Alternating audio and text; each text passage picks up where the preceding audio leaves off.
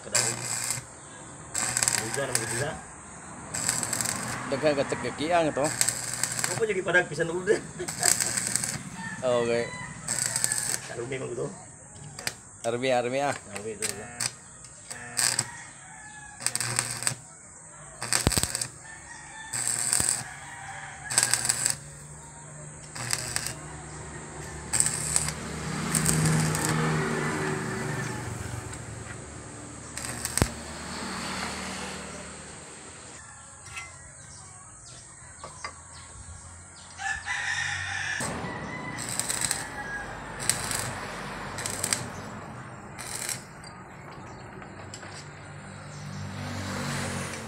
Data sa barangay Kamayaan karon, Kamayaan.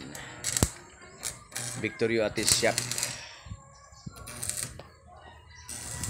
Kaya asitilin na rin buka.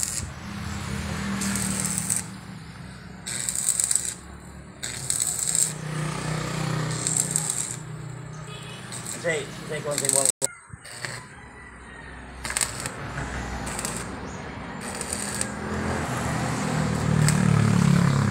Data sa shop ni Kagawan Victorio Atis.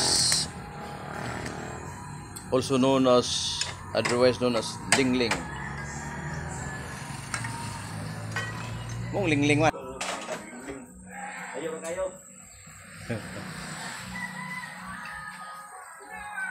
Una yung mga magpasyapag mga kotse.